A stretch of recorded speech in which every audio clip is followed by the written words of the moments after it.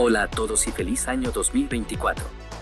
El Team DPS Gaming con nueva sección en el canal donde revisaremos las noticias más resaltantes en el mundo de los videojuegos a medida que se vayan produciendo. Y comenzamos con los primeros videojuegos incluidos en Game Pass para el año 2024. Arrancamos con dos videojuegos disponibles para Xbox con el servicio Game Pass tanto en consola, PC como en la nube.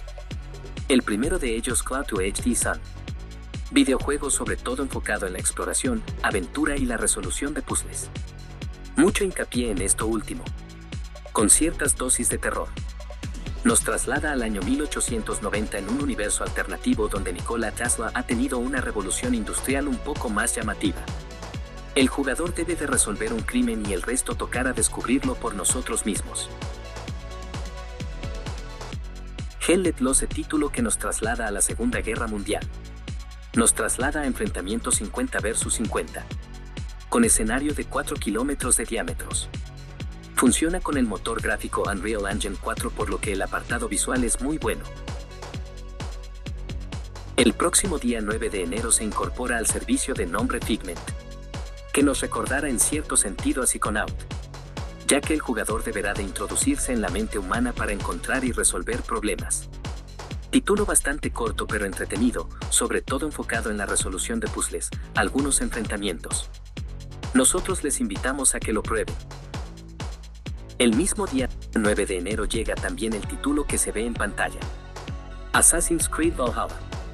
El título de Ubisoft que en los últimos tiempos ha causado mayor controversia entre los videojugadores. Por una parte, se encuentra quienes lo adoran o consideran el mejor de la serie hasta la fecha, que es una obra maestra. Y por otro lado se encuentran quienes no le gustan este tipo de juegos por ser extremadamente largo. Demasiadas misiones secundarias y de relleno. Ahora disponible en el servicio para que tú mismo te hagas tu opinión, así como en el Ubisoft Plus, donde pronto acabará llegando el Prince of Persia. Seguimos y vamos con videojuegos que salen el próximo día 11 de enero. Tenemos uno que nos viene de parte de Electronic Arts que se incluye solo en la suscripción Game Pass Ultimate donde se encuentra el EA Play. Super Mega Baseball 4. Una alternativa con mecánica arcade mucho más simplificada y estética cartón, en donde se presentan muchas estrellas de este deporte de varias épocas. Título enfocados para todos aquellos que le gustan los juegos de deportes pero que no quieran complicarse mucho con la jugabilidad más tipo simulador. Por otro lado, tenemos también este título que les dejo en imágenes 2 Who Juego de terror psicológico bastante peculiar que también nos emplaza a la resolución de puzzles en primera persona. Juego que nos recuerda en muchos aspectos a los juegos de Remedy por su tipo de ambientación, un poco extraña y llamativa.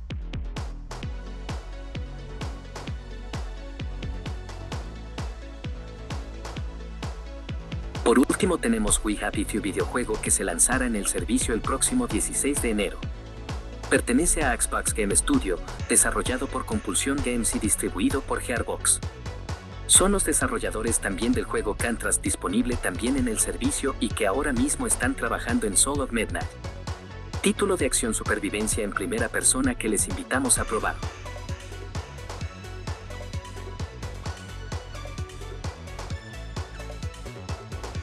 El último juego de esta tanda y que no necesita carta de presentación es el Resident Evil 2 Remake que se encontrará disponible el día 16 de enero tanto en consola como PC y en la nube. Juego de los más imprescindibles de los últimos tiempos. Que no puede faltar en ningún top de videojuegos de survival horror y de la generación pasada.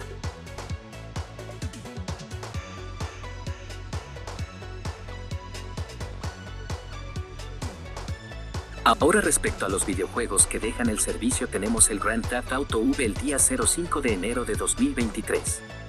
Así como el en Moro GP 22 Persona 4 Golden y Persona 3 Portable el día 15 de enero.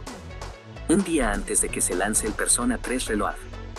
Versión remake de este título que ingresaría el 16 de enero de 2023.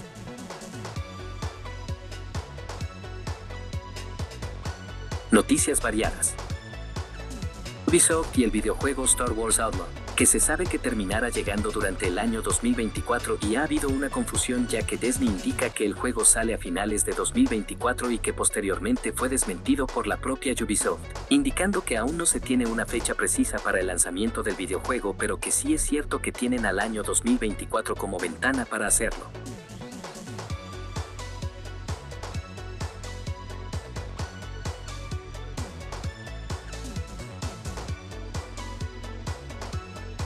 De la propia Ubisoft tenemos otro título como Prince of Persia The Lost Crown que sale dentro de poco y que ha tenido reseñas más que positivas, así como halago por parte de todos los creadores de contenido que han tenido acceso al título.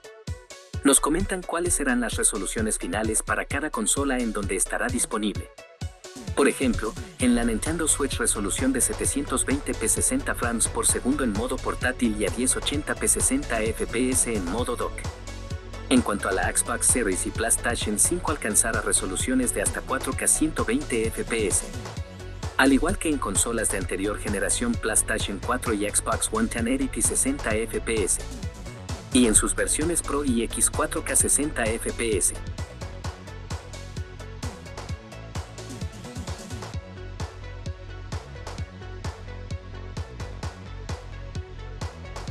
En otro orden de idea hablamos del Final Fantasy XIV el MMO que parece continuar recibiendo actualización y contenido para los próximos 10 años. Tiene una comunidad gigante. Y ha sido de los más exitoso para la compañía en los últimos años. Este juego llegará en el primer semestre del año para el ecosistema Xbox. Y también se nos informa que irá progresivamente mejorándose los gráficos para ir adaptándolo a los tiempos actuales con lo que está más que claro que tendremos Final Fantasy XIV para rato.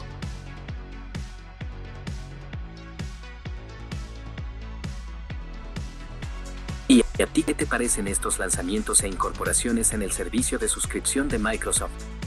¿Esperas con ansias el nuevo título de Prince of Project? Déjamelo saber en la caja de comentarios. Saludos.